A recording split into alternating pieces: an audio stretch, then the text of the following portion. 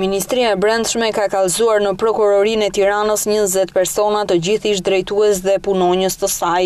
Këta persona dyshohet se i kanë shkaktuar shtetit qindra mijëra dollarë dëme me veprimet e tyre.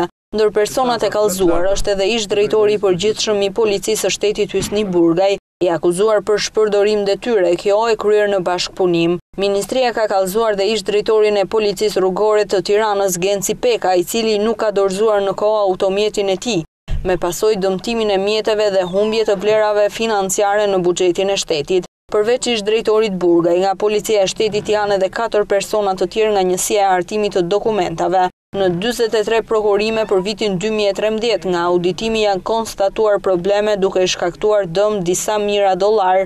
Gjashtë persona janë kallëzuar nga Qendra e Shfrytëzimit dhe Administrimit të Mjeteve të Transportit Tiranë, Ramo Ruçi, ish-drejtor, Syrja Hoxha, ish-shef i Shërbimeve të Brendshme Andon Janku, ish-drejtor teknik si dhe tre të tjerë nga Drejtoria e Rezervave të Shtetit, ku ndër ta është edhe ish-drejtori Petrit Çerçizi dhe Luan Mali ish-drejtor i Drejtorisë Rajonale të Rezervave Materiale të Shtetit në Tiranë. Ndërkohë, nga Njësia Rajonale e Policisë Rrugore në Tiranë janë dërguar edhe katër persona të tjerë, përveç ish-drejtorit Genci Peka, bëhet fjalë edhe për shtetasit Fatos Kokalari, ish-shef, Ali Allara, ish-shef, Baftjar Hadushaj, ish-shef i seksionit, si dhe Hakim Musli, punonjës.